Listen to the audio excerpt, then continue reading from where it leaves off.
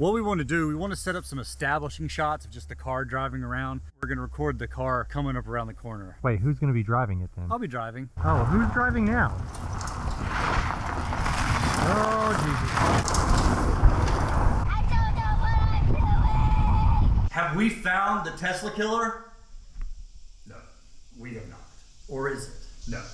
But it's a fully functional EV that I got for just $3,000. Now, I have a dealer that helps me get these things. If you don't, you can find them on Facebook Marketplace for five to six thousand dollars, which for an EV hobbyist is a great way to start for an EV project car. This is a 2012 Nissan Leaf, brand new. This had 84 to 100 mile range. When they first made these, they didn't really understand that you had to keep the batteries uh, temperature controlled. So these very quickly diminish in range. This one currently is sitting at about 32 miles of range. So for a daily driver, it's not very practical. But for a project car, I think they could be great. We're gonna try to decide if a Nissan Leaf is a good replacement for a golf cart. This does not look very much like a golf cart. So I think what we're gonna do is take the doors off. I've never taken doors off of a car. I'm hoping it's just a couple of bolts. Probably some like electronics. Four bolts and then this piece and it should come right out. All right, I got the bolts off, but now I have to figure out that plug thing. Maybe I should have done that first. I definitely should have done the plug first. The little gray piece, pull that, push it up forward. Further. There you go. I'm gonna put it over here in the rat poop. It's already better. So the front door had a little contraption that you had to unplug. The rear one, you just had to pull it out and it clipped undone. But look, with the rear one, I can actually just reach in there and, if anybody cares, 12 millimeter. Now what's holding it in? Just the handle. I thought. What was it? Oh, there it is. Yes, just the handle. If anybody wants to buy some leaf doors, Daniel came up with a good idea. We're converting a leaf to a golf cart. If you would like to convert a golf cart to a leaf, we'd be happy to sell you some doors. This looks like it's gonna hurt. Like if you walk by that and hit that, top one's riveted in. Riveting. Yeah, I could take the bottom one off. All right, this one I did the plug first. It was like eighty some dollars on Amazon. I mean, they, they've been around forever, those kind of things. It's like acting like they were. We're gonna have so- to mute the gibberish in the background.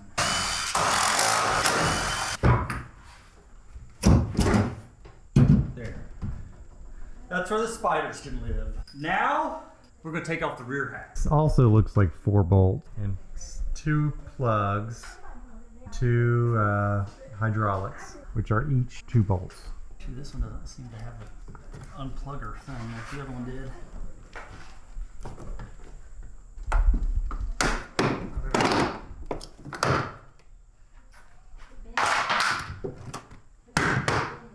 Didn't really reveal anything. Could have been Uh, no. We're just gonna have to cut this. The front doors register they're open just by this button. So I should be able to like turn that off. The problem is the rear registers it's opened with this latch up here. And these don't just simply unplug like the uh, door ones did. So I want to cut them. So I'm gonna see if it'll drive with the hatch open without making terrible noises.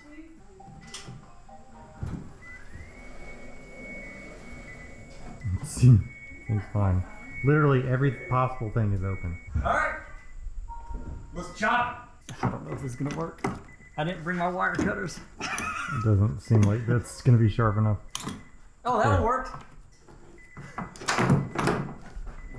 Why are they making a golf cart and why did you take the door? Ha ha! We probably need to uh, separate the wires so they're not all shorting against each other. Except you, you just stuffed it in the hole. Is this gonna fall and hit me on the head when I take this off? What do you think? We got these undone, so we're gonna take the hydraulics off, and this is where it'll get heavy. I went the most dangerous route It possible. didn't change the heaviness at all. Because I think the hydraulics still. Um, There we go.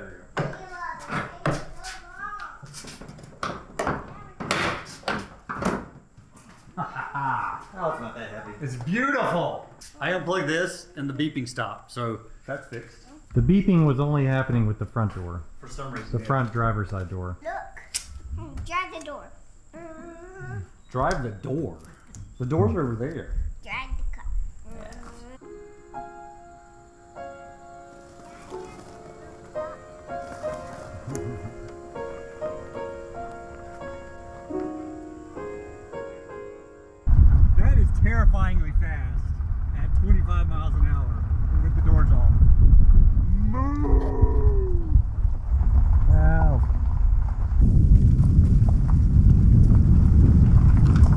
We don't want to cause a short. That could drain down the 12 volt battery. We're just going to trim these up because it did spark a little when I was trying to clip this with the uh, hedge trimmers. Yeah.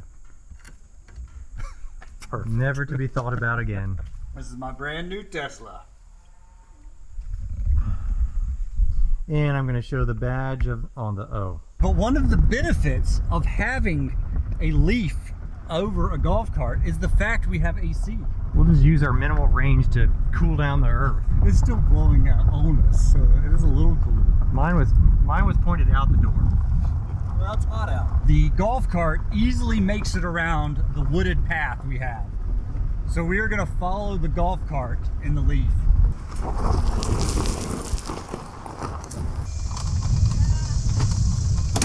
Let's check the map to see where we are.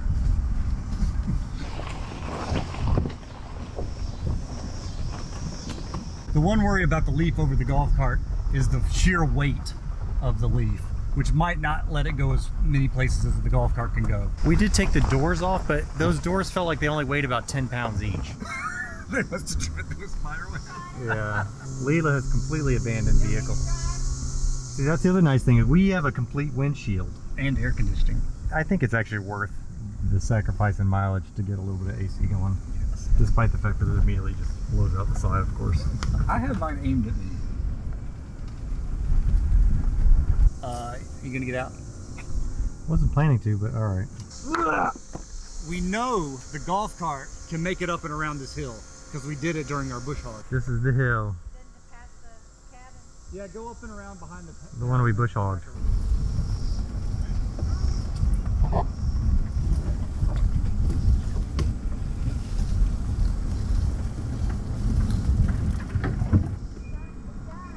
Battery died. Score one for the leaf because Yeah. we still have. 13 miles of range, but I'm stuck. All right. Yeah.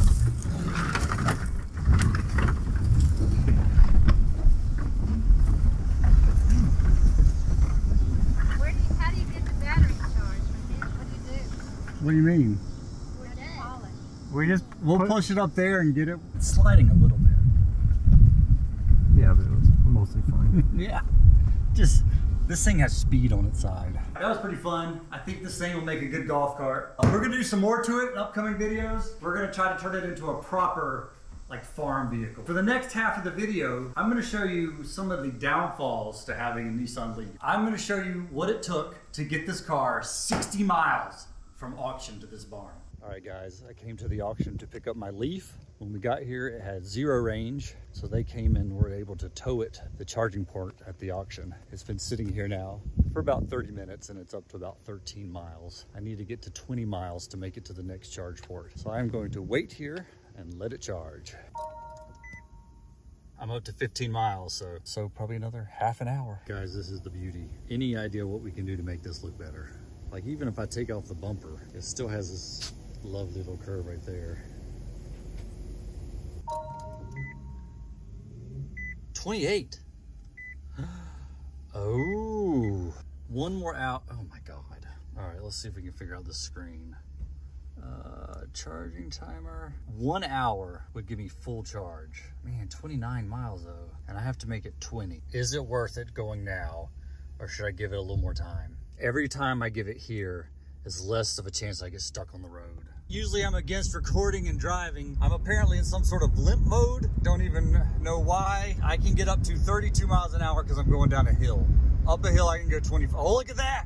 Man, feel the speed. This is going up a hill. Oh, I bet I crested the hill. So now I'll gain a couple miles an hour. We found another hill. Think I can, I think I can. I think I can. Range is holding pretty good. 21 miles to go 11, so that's been accurate. But this is a nightmare. I knew it was going to be an adventure trying to get a Leaf 36 miles. This is not part of the adventure I expected. In 1,000 feet, turn right onto Igems Church Road. The having to go 26 miles an hour for the 36 miles. Quick update. I made it to the McDonald's with a charge point, but this Leaf doesn't have the fast charger, so I couldn't hook up to that McDonald's. My buddy has a barn that is six miles away from the McDonald's. I think I'm gonna make it. But once I get there, I'll plug it in and hopefully I can come out with a computer. This has been an adventure. All right, I made it to the barn, so I'm finally in a safe place. If you wanna go under 26 miles an hour, this car is just fine. Let's see if I can drift around the corner. Oh, limp mode. Ah, in a barn. I came out with a code reader and I could not get it to get out of turtle mode. That's my helper. Helper, we're gonna limp this thing to my house. Feel the speed. This is really a nightmare. I, I found another hill, so I'm limited to the 25 miles an hour. There's a stop sign up ahead. Should I start slowing down? I don't know what happened, but I'm getting some speed now. It's almost like a real car. What the hell? Woohoo! Well, that was short-lived. Back to 25. The countryside's beautiful though. It's uh, a little after 10 o'clock at night. This person is swerving at me. Can't do anything, buddy. I'm driving at night. I'm taking it to the EV shop we know. We have a while to be together. 26 miles an hour. And it's a seven mile adventure. I'm gonna get pulled over. The cop's gonna ask me, son, do you have any idea why I pulled you over? It's like, yeah, because I'm going 26 miles an hour at 10.30 at night and you want to make sure I'm not drunk or stoned. I'm not. this is all I can do. We're back with the Leaf. I got it back from the shop. I made it there successfully. The reason it was in limp mode is somebody had replaced the battery and couldn't pair it with the system. The EV guy, battery guy we use, was able to use his computer to pair the battery with the system, erase the codes, and now it's back.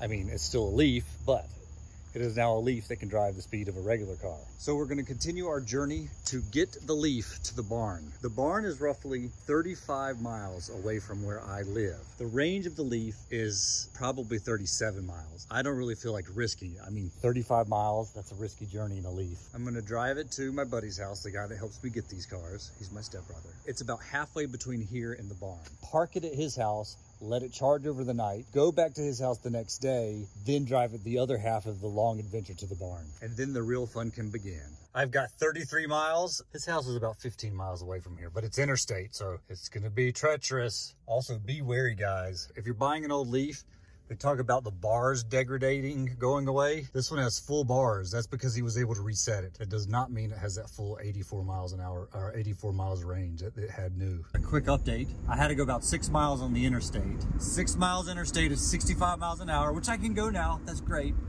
Ate up 12 miles of range. And then when I got to the exit I was supposed to get off, there's construction. So I was diverted around another way. The diversion I had to take only added about half a mile, but I'm five miles away from the house now and I have 14 miles range. I made it to my dealer's house, car dealer's, not drug dealer. And with 13 miles range, it actually got a lot better range once I actually started driving on the back roads. I can get to the farm on all back roads from here and it's only 10 miles. I really might could make it, but I like this plan of the half charge. Oh, the camera. Next time you're with me, we will be driving into the barn and then the real fun begins. I might have already said that, but I'll delete that and I'll put this one in. We're back in the Leaf. I've got David Chloe as my companion. 28 miles to make it 9.8 miles. That's without AC. If I turn on the AC, I lose three miles. But if I put it in eco mode, I gain two miles. AC off, eco mode on, 31 miles. So yeah, I should be good. Let's get this thing to the barn. David Chloe, oh my gosh, a bee flew in the car in the woods. All right, David Chloe, we made it. She survived. Hello. 10 mile journey went from what 28 to 11 but that's all right. We're now on the farm. It doesn't matter where i go now. We can always tow it to the barn. I'm going to consider this journey success and the real test begins. Should you buy a nissan leaf or a golf cart? There it is in a barn. I could just leave it here in 25 years. Somebody will open this barn and be amazed at the leaf they find Thanks for watching another Skippy Rock adventure. If you enjoyed this video, please like it by hitting the thumbs up. If you want to catch more of our adventures, please subscribe and help our channel grow. Next time with the Leaf, we have some cosmetic and hopefully functional upgrades, and we'll be doing some more off-road testing. See you guys next time, and go download Skippy Rock.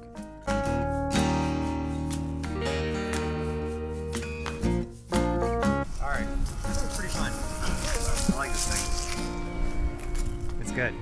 So, in your humble opinion, is this better than a golf cart? it's definitely better than a golf cart.